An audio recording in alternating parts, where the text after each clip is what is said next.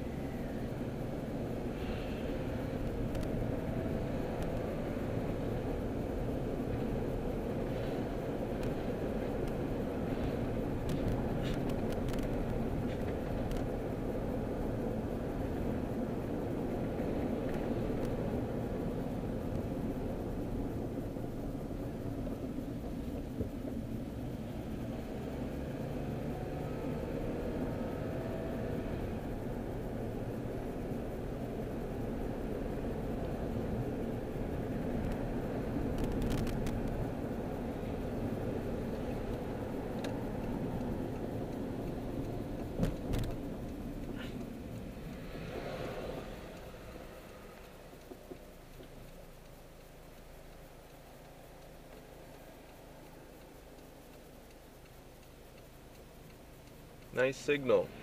Oh wait, you didn't signal.